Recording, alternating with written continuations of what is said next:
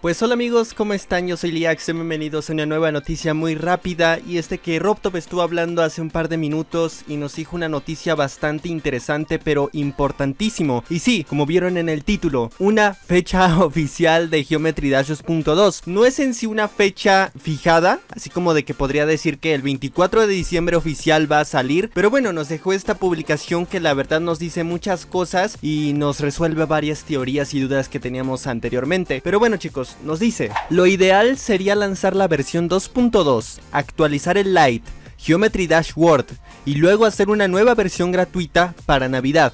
Aquí chicos nos está diciendo que para Navidad 24 de diciembre vamos a tener una, bueno la actualización 2.2, vamos a tener también el actualizado de Light y también el actualizado de Geometry Dash World. Esto es muy interesante chicos, tristemente es para diciembre que tendríamos la actualización 2.2 y solamente queda esperar chicos, lo bueno es que ya nos dijo un poquito acerca de todo esto RobTop, ya se confirmaron varias teorías acerca de este, de este temita porque pues mucha gente decía, ay Liax es que va a salir Navidad y todo esto, pues aquí chicos ya nos está diciendo que va a estar para Navidad la versión 2.2, también el actualizado de Light y también el actualizado de Geometry Dash World. Es una noticia bastante importante y se las venía a compartir con todos ustedes. Espero que les haya gustado, es un video bastante corto pero a la vez bastante importante y por eso es que no lo voy a editar mucho porque quiero que se suba lo más rápido posible para que ustedes tengan un poquito de hype y ya mañana estaremos con un video de información y novedades comentando más al respecto de esta noticia. Así que sin nada más que decir, Espero que les haya gustado esta noticia, este video. Recuerda que puedes apoyarme regalando tu bonito like, suscripción y activar la campanita si no lo estás. Una vez hecho todo esto, nos veremos próximamente mañana con un nuevo video. Adiós chicos.